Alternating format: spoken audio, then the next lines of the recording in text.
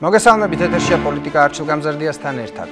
სასულიერო იერარქები როგორც პოლიტიკური ინფლუენსერები, ხელისუფლებისა და ეკლესიის პრობა და მოყრობა. ბოლო წლებში განვითარებული უცნაური ურთიერთობა ხელისუფლებასა და ეკლესიას შორის. უცნაური მათთან მეტოქეობრივი ძალაუფლების გადანაწილებაში დროდადრო შეუთანხმებელი და ცივსომშორის თან პარადოქსულად პარტნიორული. როცა თანხმობა ფინანსებს ზეგავლენასა და ძალაუფლებას შორის მიღწეულია. საქართველოს აერო ხელისუფლებები და სასულიერო იერარქია ხშირად მრევლით და დამომრჩევლით გამოკვებილი ინსტიტუციები, სადაც მოქალაქე და ადამიანი ნაკლება და მათი საქმიანობის მიზეზი არამედ უფრო საშუალება. პარალელურად ერთმანეთთან მომღიმარეები, საერო და სასულიერო ლიდერები და ამავდროულად ერთმანეთის წინააღმდეგ მიმართულები.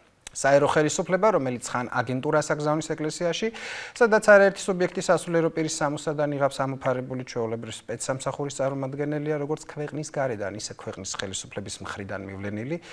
ამ თემაზე ბოლო ხანებში კვლავ წამოიწია ეგრეთ წოდებული ODR-ების საკითხმა. ცნობილია 2015 წლის 18 ნოემბერს საქართველოს მთავრობის დადგენილებით განისაზღვრა სახელმწიფო უსაფრთხოებისათვის მაღალი რისკის მქონე სუბიექტების ნუსხასულ 25 უწყება. მოცემული სია განსაზღვრავს იმ სახელმწიფო უწყებებს, სადაც შესაძლებელია მივლინებული იყვნენ ოფიცრები უსაფრთხოების საკითხებში, ეგრეთ წოდებული ODR-ები. ნეტგაზეთში გამოქვეყნებული ინფორმაციის თანახმად, ინფორმაციისა და თავისუფლების განვითარების ინსტიტუტი ავსალებს ინფორმაციას, რომ პრაქტიკაში შესაძლებელია არსებობდეს ისეთი შემთხვევები, როდესაც ეგრეთ წოდებული ODR-ების საქმიანობას ახორციელებენ იმ უწყებებში, რომლებიც მთავრობის მიერ დადგენილ აღნიშნულ ნუსხაში არ შედის. მაგალითად IDFI-ის ერთ-ერთ კვლევის ფარგლებში საჯარო დაწესებულებების ვებგვერდის მონიტორინგის განხორციელებისას ორგანიზაციის ყურადღება მიიპყრო რელიგიის სახელმწიფო სააგენტოს თანამდებობის პირების შესახებ გამოქვეყნებულმა არასრულყოფილმა მონაცემებმა. მათი ინფორმაციით ამ უწყების ვებგვერდზე სააგენტოს თავმჯდომარის მოადგილის გიორგი უკლებას ბიოგრაფიული მონაცემები დაფარული იყო. IDFI-ის განცხადებით არსებობს საარქივო მასალები, რომლითაც დასტურდება, რომ ის იყო სახელმწიფო უსაფრთხოების სააგენტოს ოფიცერი უშიშროების საკითხებში და ამავე დროს სავარაუდოდ დასრულებდა ეგრეთ წოდებული ODR-ის მოვალეობას სხვადასხვა უწყებაში. მოდერების თემის გარდა ასევე საინტერესო გახდა სასულიერო ერაკთა მონაწილეობა მართლი პარტიის პარტიულ ღონისძიებებზე. ხას უსვამ პარტიულ ღონისძიებებს, რადგან ზოგადად სახელმწიფო ღონისძიებებზე სასულიერო პირებთან და ინსტიტუციებთან თანამშრომლობა სავსებით კანონზომიერია, თუმცა მოცემულ მომენტში საუბარია ქართული ოცნების წინასაარჩევნო კამპანიის ფარგლებში ჩატარებულ პარტიულ შეკრებებზე.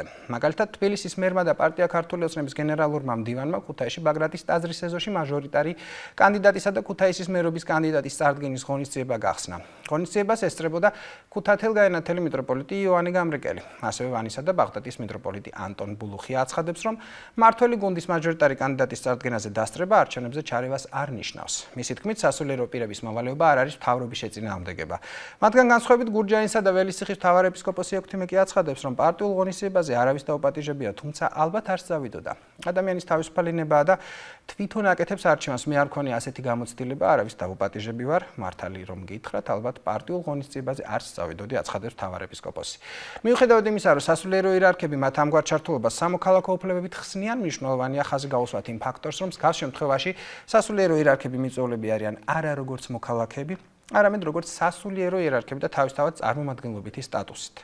შეიძლება ითქვას ასე დროს სასულიერო პირები ერთგვარ პოლიტიკურ ინფლუენსერებად გვევლინებიან. შეგახსენებთ, ინფლუენსერები თავიანთ ჯგუფებში გავლენიანი ადამიანები არიან. მათ ყავთ საკმაოდ დიდი აუდიტორია, მეგობრები, მიმდევრები და შეუძლიათ ბრენდისთვის მნიშვნელოვანი შედეგის მოტანა. ეს არ ნიშნავს ხარდაჭერას, ხარდაჭერა არის სიტყვიერი განცხადება ხარდაჭერისკენ მოწოდება. ასე აცხადებს მიტროპოლიტი შიო მუჯირი. თუმცა როგორც ჩანს, აპატრიარქო ტახტის მოსახდრემა არის ის, რომ ქცევა ისეთივე შინაარს ატარებს, როგორც სიტყვა და ხშირად უფრო ეფექტური პროპაგანდის საშუალებაა. ქცევა ხატებში კი სასულიერო პირები კიდევ უფრო ეფექტურად აწარმოებენ პოლიტიკური ინფლუენსერობისათვის დამახასიათებელ პროპაგანდას. რამდენადაც პოლიტიკური ინფლუენსერობისათვის სასულიერო პირები ღია და გახსნილები აღმოჩნდნენ, იმდენად დღითი დღე იკეტებიან მედიისათვის. საპატრიარქოს პრეს-ცენტრის ხელმძღვანელი დეკანოსი ანდრია ჯაღმაიძე უარს აცხადებს ჩემთან გადაცემაში მოსვლაზე ან სასულიერო პირების წარმოგზავნაზე, რადგან ეს თემა ეკლესია და სახელმწიფო საპატრიარქოს არაფერში სჭირდება თურმე და მომტან მომტანია მათთვის. ისე რომ სასულიერო პირს, რომელიც საპატრიარქო ტახტის მოსახდერ შიომუჯრის კურთხევით მოქმედებს, ავიწყდება თავიანთი ვალდებულებები სახელმწიფოსა და საზოგადოების მიმართ. მეტიც, ბოლო პერიოდში საპატრიარქომ პრაქტიკულად აუკრძალა სასულიერო პირებს მედიასთან ურთიერთობა.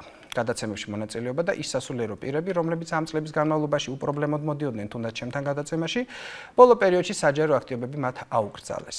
სასულიერო იერარქები, როგორც პოლიტიკური ინფლუენსერები, ხელისუფლებისა და ეკლესიის მტრობა და მოყრობა. ამ თემაზე ვისაუბრებ გადაცემის პირველ ნაწილში. ჩემი სტუმრები იქნებიან თეოლოგები ლელა ჯეჯელავა და ლევან აბაშიძე. გადაცემის მვლელობისას კი ჩაგვერთვება მანჩესტერის ქართული სამრევლოს წინამძღვარი დეკანოზი ილია ჭიღლაძე. გადაცემის მეორე ნაწილში კი პარტიები და პარტიუკები კვლავ შეცვლის თუ არა ნაციონალური მოძრაობა სტრატეგიას და წავა პოლიტიკური პარტნიორობის წინააღმდეგ. ამის შესახებ გადაცემის მეორე ნაწილში პარლამენტის ვიცე-სპიკერ სერგი კაპანაძესთან და გირჩის ერთ-ერთ ლიდერ იაგო ხუჩიასთან ვისაუბრეთ. მე კი წარმოგიდგენთ ჩემ გადაცემის პირველი ნაწილის სტუმრებს თეოლოგები ლელა ჯეჯელავა და ლევან აბაშიძე მოგესალმებით ძალიან დიდი მადლობა სტუმრობისათვის ეს ერთი შეხედვით თითქოს სუბუქად დასანახი თემა მაგრამ სინამდვილეში საკმაოდ რთული პროცესი არის. თქვენ ეს ძალიან კარგად იცით. ამიტომაც პირველ რიგში მინდა აი რაღაცნაირად გავმიჯნოთ. მოდი იქიდან დავიწყოთ რომ რა ინტერესები აქვს ხელისუფლებას ეკლესიაში.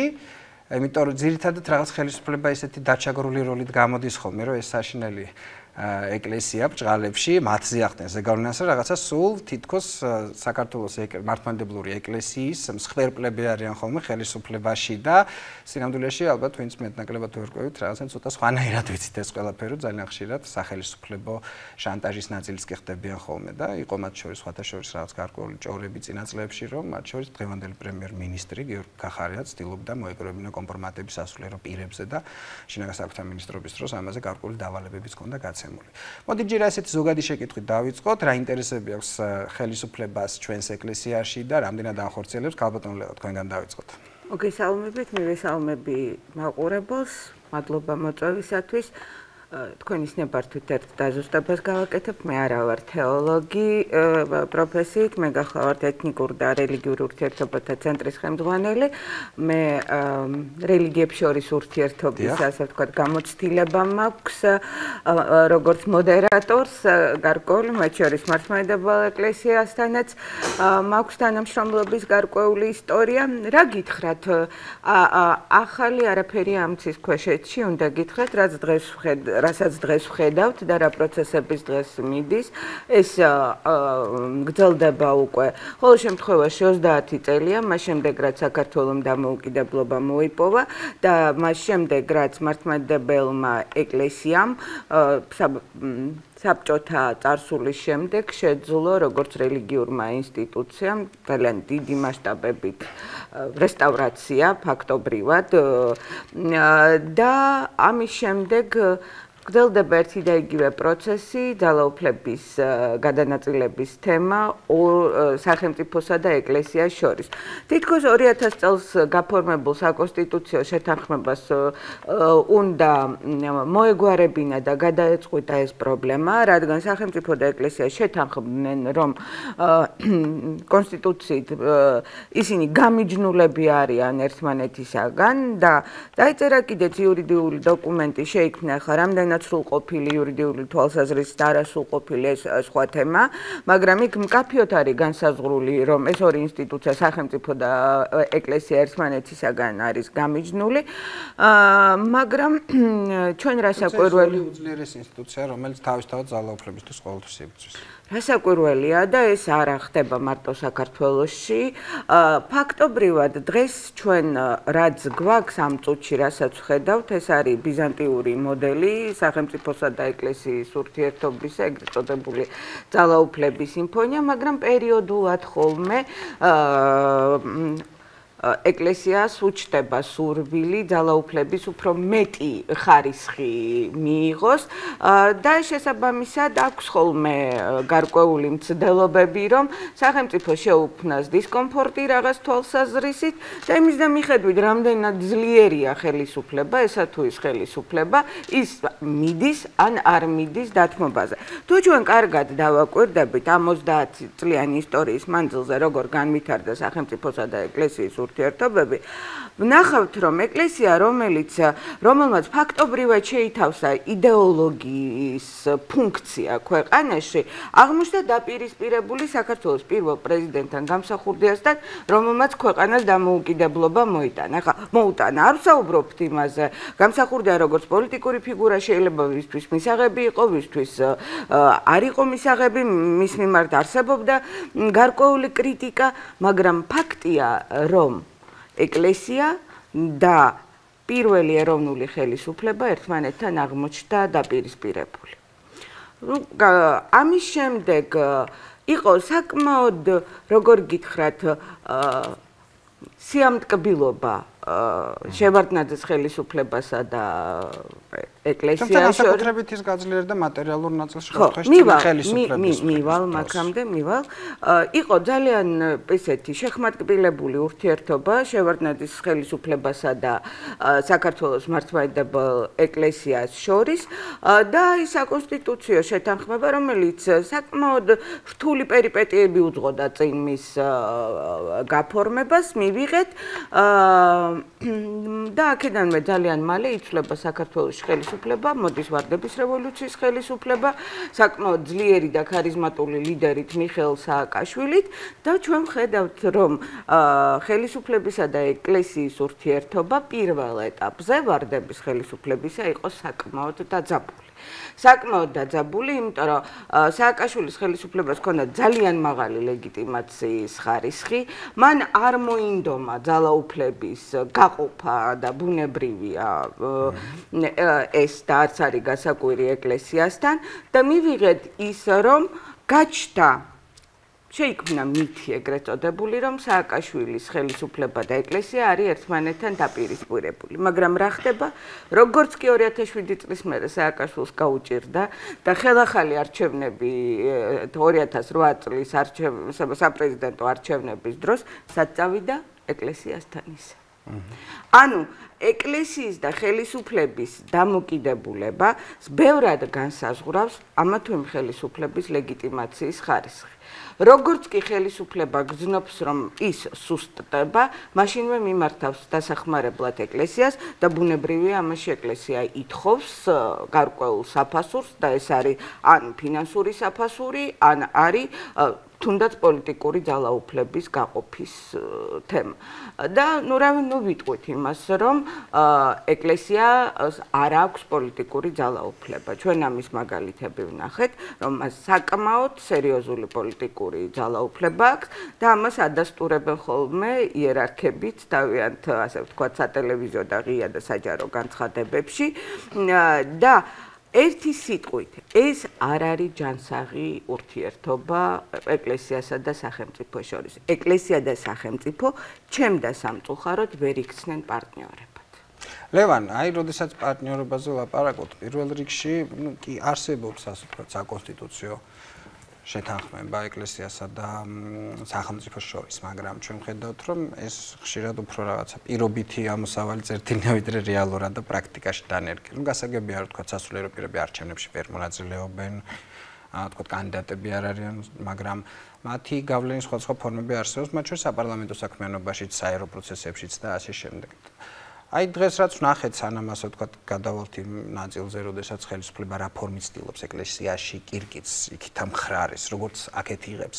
მაგრამ აი დღეს ვთქვათ აი პარტიულ შეკრებებზე, რომელიც არ არის სახელისუფლებო აქტივობები, პარტიული შეკრებებია, წინა საარჩევნო კამპანიის ნაწილია. რამდენად მიზანშეწონილია ასე დროს სასულიერო პირები იყვნენ საარჩევნო კამპანიის ინსტრუმენტები, იმიტომ რომ მე რატო ვახსენე პოლიტიკური ინფლუენსერები, რატო უწოდე სასულიერო იერარქების ნაწილს. იმიტომ რომ მათი ყოფნაც უკვე საქმეს ადამიანი მიდის იქ სადაც უნდა რომ მივიდეს და არა იქ სადაც არ უნდა. და შესაბამისად სასულიერო ერქი რომ იქ არის კადრი თავისთავად მას განცხადება არ სჭირდება რომელიც მრავლისთვის შეიძლება აღიქვა როგორც მოწოდება. რა ვიცი თქვენ ისე იმდენი რამე თქვით და იმდენი რამე ჩამოხარეთ არ ვიცი საიდან დავიწყო. სახელმწიფო როგორ როგორ კირკიტობს ეკლესიაში არ ვერ გავიგე აი სახელმწიფო კირკიტობს მათ შორის ეკლესიაში აი ჩვენ ვახსენეთ რომ შეიძლება გარკვეულ ცდილობს რომ ხო აგენტურის ფორმა კონდეს ან ისინი ჩართონ ისეთ პროცესებში რითიც ხელისუფლებას არგებლობს და ასე შემდეგ. ედი რა არჩილ საერთოდ ეს საკითხი ეკლესიისა და ხელისუფლების ურთიერთობა ან პოლიტიკური თქვათ პოლიტიკური აქტორების პოლიტიკური პარტიების და რელიგიური ორგანიზაციების ურთიერთობა იმდენად ესეთი თემა რთული გადაჯაჭვული და შემდეგ რომ მე მგონი რაღაცნაირად ესე სწრაფად და ესე რაღაცნაირად ჟელობა ცოტა ზერელეთ არ გამოგვივიდეს რა.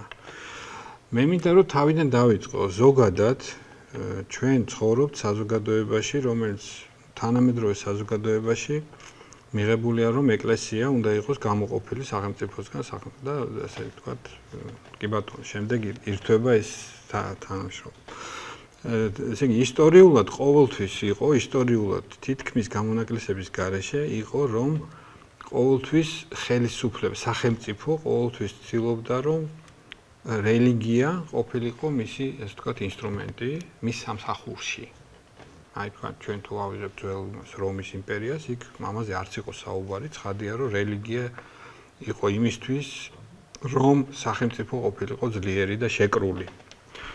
და ანუ მოხდა ახალ დროებაში ის, რომ აა მივედით იქამდე, რომ აა სახელმწიფო უნდა იყოს ცალკე, ეკლესია ცალკე და სახელმწიფომ თავის თავზე აღარ აიღო, ასე ვთქვათ, ფუნქცია იმისა, რომ თქვას ეს არის სწორი რელიგია თუ ეს არის სწორი რელიგია. ანუ სახელმწიფო უნდა იყოს ნეიტრალური რელიგიურ საკითხებში და ეკლესიაც ეკლესიამაც უარი უნდა თქვას საერო ხელისუფლებაზე. ახლა თქვენ თქვით რომ ეკლესიას აქვს პოლიტიკური ძალაუფლება, მართლა რო გითხრათ ვერ გავიგე სადა აქვს ეკლესიას პოლიტიკური ძალაუფლება.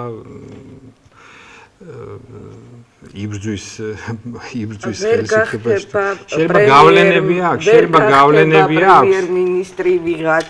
ვიღახდება თუ საპატრიარქოდან არ იქნება დაბრო ეს არა მე გეუბნებით განცხადებები რომელიც ისმის ეს პრეზიდენტი არ გვჭირდება ამას არავის ჩევთ და ასე შემდეგ და თუ ეს პრეზიდენტი იქნება მე დავტოვებ საქართველოს და კი ბატონო ჩვენ ესეთი იცით როგორ არის? აი მე მესმის მესმის ეს ყველაფერი ეხლა კი ბატონო, თქვათ, უნდა იყოს გამოყოფილი თანამედროვე სახელმწიფოში ერთმანეთისგან, მაგრამ საქმე იმაშია, რომ ასე თქვათ, სრული გამიჯნა გაყოფა და შემდეგ არ გამოდის, ცხადია რატომაც არ გამოდის, იმიტომ რომ ერთი და იგივე მოქალაქე, ერთი და იგივე ადამიანი არის ერთდროულად მოქალაქეც არის პოლიტიკური რაღაც სიმპათიებიც აქვს, შეიძლება იყოს ეკლესიის აქტიური წევრი შეიძლება იყოს ათეისტი და ასე შემდეგ. ამიტომ ეს ყველაფერი არის გადაჯაჭვული და ბუნებრივია. ეხლა მოდი მოდი მოვიდეთ ამ საკითხზე თქვა. სახელმწიფოს უნდა თუ არა ეკლესიაზე კონდეს კონტროლი, გარკვეული აზრით, ხო?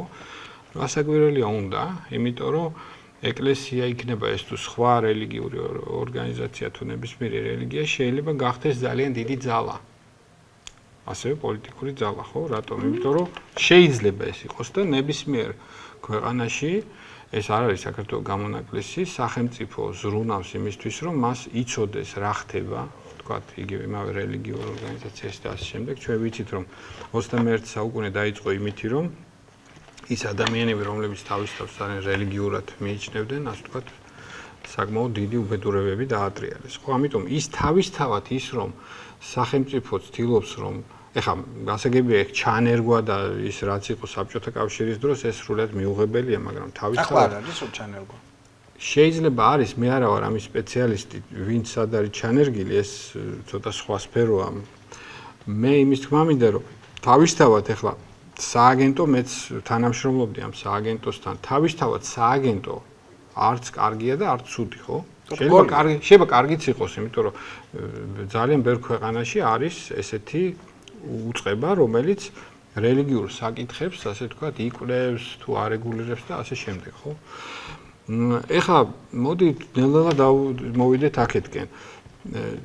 ეხლა ჩვენ ისე გამოვირბინებთ თელი ეს 30 წელიწადი რა ხდებოდა, ერეოდა ეკლესია თუ პირიქით, ისე რასაკვირველია, ყველაფერი ხდებოდა და ეკლესიას გარკვეული სიმპათიები ქონდა ეხლა ერთი ეკლესია როგორც ესეთი ერთიანი რას ნიშნავს ესეც დასაზუსტებელია. მაგალითად როდესაც იყო ძალიან მწვავე დაპირისპირება თქვათ ერთის ხრივ იყო ნაციონალური მოძრაობა და მეორე ხრივ იყო ქართული ოცნება ჩვენ ხედავდით რომ ზოგიერთი ეპისკოპოსი აშკარად უჭერდა ერთ მხარეს ზოგიერთი მეორე მხარეს ასე თქვათ თვითონ შიგნით ეკლესიაშიც არის გარკვეული ასთა სხვადასხვაობა და ეს ჩვეულებრივი ამბავია. ის რომ თქვათ, ეხლა თქვენ რასაც ამბობთ, ეკლესიის წარმომადგენლები იღებენ მონაწილეობას პარტიულ პარტიულ შეხვედრებზე, ну, გასაგებია ხო ეს გარკვეული ნაბიჯია. თუმცა მე არ ვიცი თქვათ უგრძალავს ვინმე რომ სხვა პარტიულ შეკრებებზეც მივიდეს, თქვა სხვა პარტიის შეკრებებზე, იქ საქმეც ეგ არის. იქ არ არის. არჩევანს აკეთებენ და უკვე ეს არის შეტყობინება თავიანთ მრევლისთვის. ხო?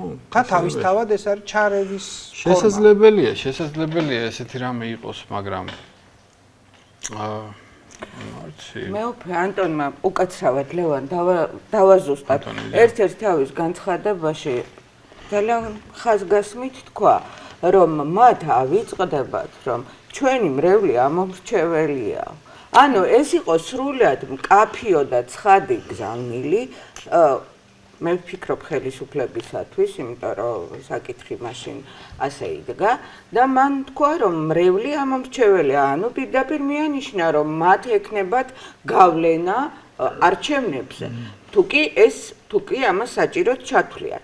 მაგრამ შეიძლება მე ჩემ მოსაზრებას მოგახსენებ, რომ მე არ მგონია, რომ ახლა ამ პროცესმა რაიმე დივიდენდი მოუტანოს ან ეკლესიას, ან ხელისუფლებას. იმიტომ რომ დრო შეიცვალა ძალიან სწრაფად იცვლება ჩვენს გარშემო ყველაფერი, იცვლება განწყობებიც. ამ მოკლე ხანში ბევრი პროცესი განვითარდა, ისეთი რაც ეკლესიას უკავშირდებოდა. ძალიან რბილად რომ ვთქვათ, ეკლესია მაინც და მაინც კარგად არ გამოჩნდა. როგორც ინსტიტუციას მე ამ შემთხვევაში საპატრიარქოს გულისხმობ თორე არ მინდა რაიმე ტოლობის ნიშანი ახლა ეკლესიასა და საპატრიარქოსთან დავსვა ეს არის ადმინისტრაცია ხო? მაინც და მაინც კარგად არ გამოიყურებოდა.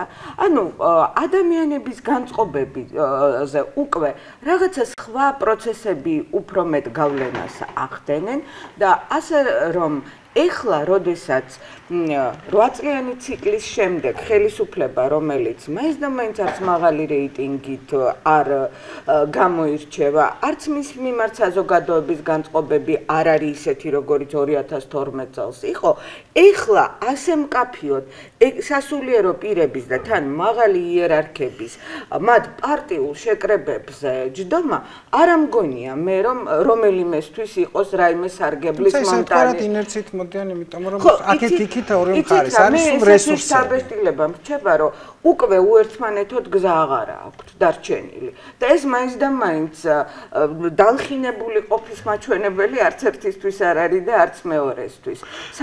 სამწუხაროა, რომ აქამდე მივიდა საქმე, მაგრამ ეს არის. ეხა მე ძალიან ნაკლებად მგონია, რომ ვინმე ადამიანზე, მოქალაქეზე, ამომრჩეველზე, რომელსაც აქვს თავისი სამოქალაქო პოზიცია, რაიმე განსაკუთრებული გავლენა მოახდინოს იმან, ეხა მე უფე ანტონი სადი იყო გუშინ, როდესაც მე უფე ანტონი ჯერ ესერთი ძალიან კარგად ახსოვს სხვა დროს დაუშვათ სხვა პოზიციით და მეორე კიდე მისი იმ სხვა ტიპის განცხადებებით, რომელიც მან რეფერენდუმ ევროკავშირთან დაკავშირებით გააკეთა და ამ ტიპის არათუ პოლიტიკურ, ლევან, გეოპოლიტიკური შინაარსის განცხადებებსაც აკეთებენ და ქვეყნის პოლიტიკური ვექტორის განსაზღვრაზე საუბრობენ და აი მართალი გითხრათ ეხა ჩემი გადასახედიდან მე არა მაინც და მაინც ახიფათოთ მიმაჩნია. პირიქით ძალიან ნათლად ჩანს და მკაფიოდ როგორი მანკიერია ეს დამოკიდებულება როგორი არა ჯანსაღია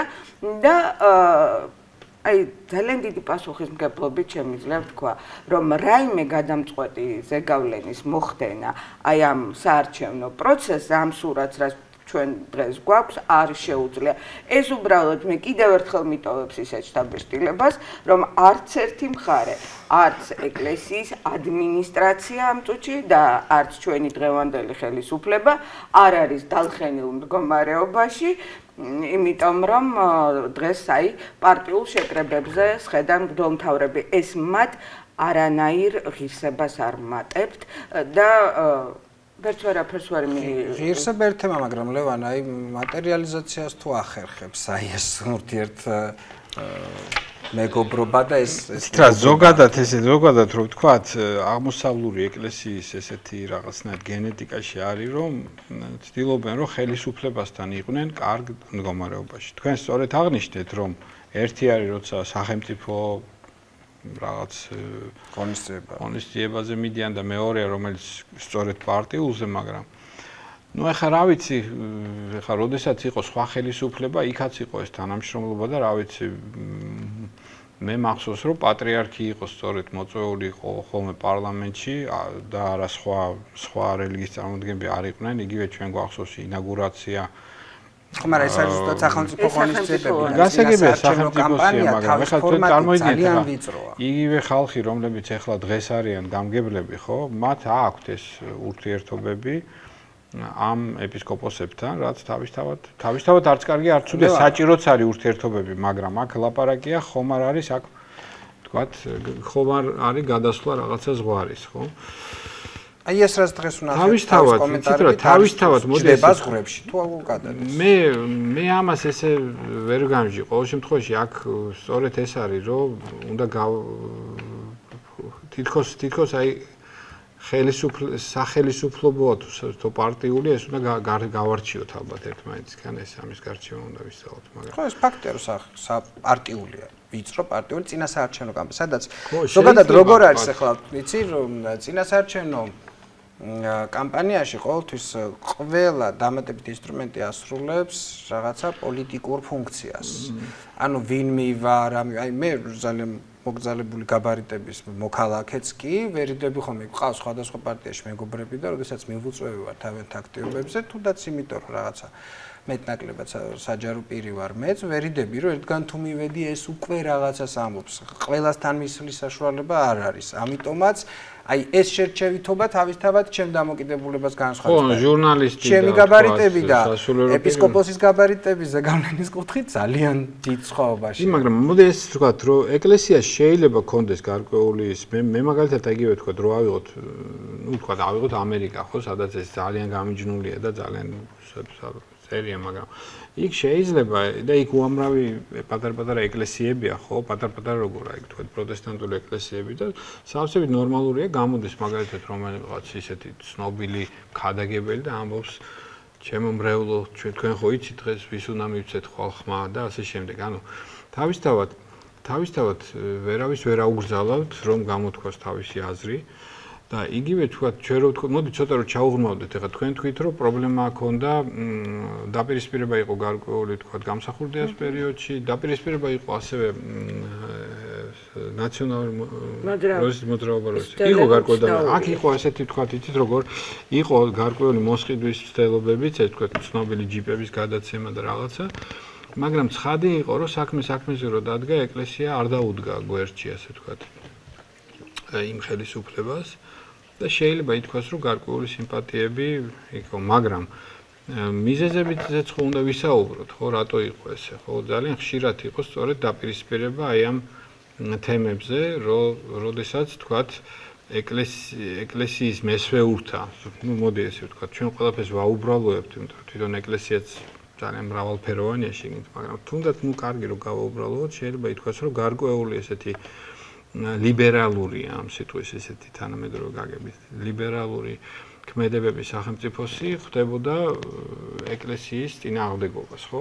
ჩვენ გვახსოვს ეს ყველაფერი და აქ იყო ხელისუფლების მხრიდანაც იყო ორმაგი ესეთი თამაში თითქოს მოსყიდვაც უნდა და თქვა რაღაცნაირად ჩახუტებაც ხანდახან იყო რაღაც პროვოკაციებიც იყო თუ ჩანერგვები თუ რაღაცა ყოველ შემთხვევაში გარკვეული დაძაბულობა იყო და შეიძლება ვინმე თქვას რომ გარკვეული გადამწყვეტ მომენტებში მაგალითად როდესაც იყო ეკლესიამ შეიძლება გამოავლინა თავის გარკვეული სიმპათიები აქეთან იქით ხარეს შეიძლება ესეთი რამე მოხდეს რაც თავისთავად თავისთავად გასაგებია, იმიტომ რომ ეკლესიას რა უნდა, მოდი ესე რომ ვთქვა, ეკლესიას უნდა რომ სახელმწიფოს ხრიდან რომ იყოს ერთი მშვიდობა რომ იყოს, რომ იყოს შესაძლებლობა თავისუფლად იქადაგო, რომ ეკლესიის საქმეებში სახელმწიფო უხეშად არ ჩაერიოს, იმიტომ რომ სახელმწიფოს უამრავი ბერკეტი, უამრავი ბერკეტია. ეკლესიას და რა უნდა სახელმწიფოს ამაზე სარეკლამო რგოლის შემდეგ ვისაუბროთ მათ შორის